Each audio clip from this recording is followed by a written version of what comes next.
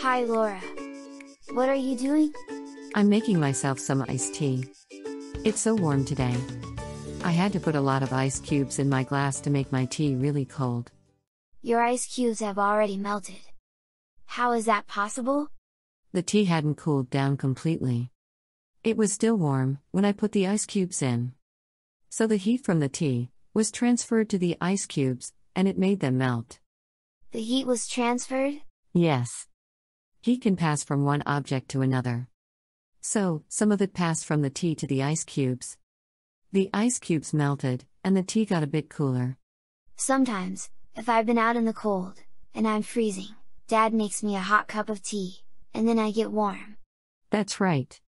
The heat from the tea gets into your body, and warms you up. But how does the heat get into the tea to begin with? To make tea, you have to boil some water.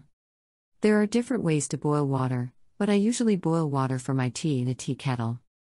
But in order for water to start boiling, some heat energy needs to be transferred to it. Heat energy? Yes. I put the kettle on the stove.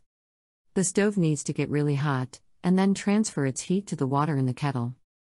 But how does the stove get hot? You need to turn it on. And do you know what happens then? The stove is connected to the electricity.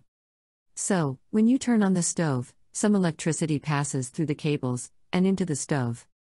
The electrical energy then gets turned into heat energy. And where does this electrical energy come from? It can come from different sources. Sometimes it comes from the sun. The light energy from the sun gets absorbed by solar panels, which then turn it into electricity. Okay, so let me see if I understand. First, the sun produces light energy. The light energy gets turned into electrical energy in the solar panels. This electrical energy gets sent to our homes. When we turn the stove on, this electrical energy gets converted into heat energy. The heat energy makes the water in the kettle boil. And then we can make our tea, which is very hot, and can warm us up on a cold day. Exactly. Wow, that's amazing! So, how do ice cubes get so cold? And where does electricity go, when we turn off the stove? How about the sun? Where does it get its light energy from? Why is it so hot in the sun during the summer? Can we go find out? Sure. But let's have a glass of iced tea first.